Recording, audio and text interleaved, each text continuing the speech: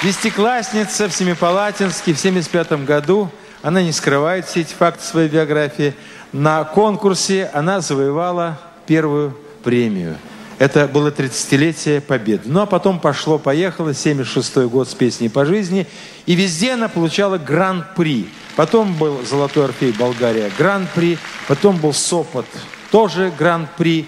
Потом была премия Ленинского комсомола. Потом была гран-при на Кубе поражает ее преданность каким-то своим идеалам и творческим, и жизненным. И верность своим песням, которые она поет многие годы, особенные. Я думаю, что в преддверии замечательного праздника Победы, 60-летия, наверное, и в Казахстане, и там, где будет выступать Роза, будет звучать песни, с которой она была программе телевизионной с песней по жизни. Песня называется «Алия». Эта песня принесла ей успех. И, конечно, сегодня эта песня звучит в нашем концерте. Песня посвящена славной дочери казахского народа, герою Советского Союза Алие Молдогуловой. Thank you.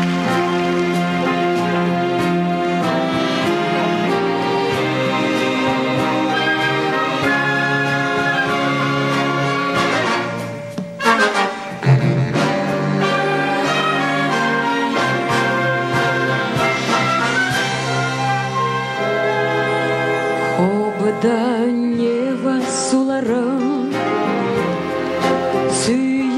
өскен әсем гүлін құшаққа.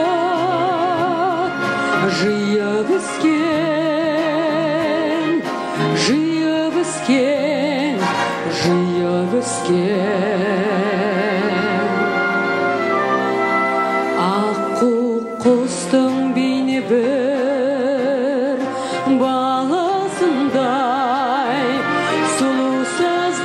жастықтың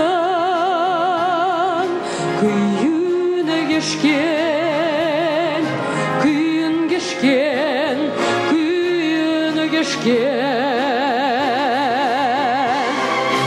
әлие батыр қызы сен халқа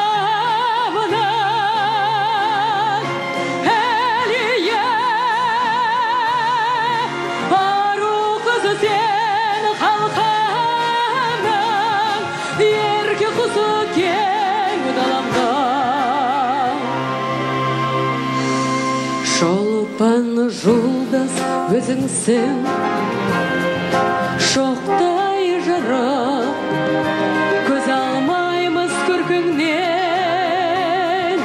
Тоқтай қалып тоқтай қалып тоқтай қалып. Туған жердің төсінде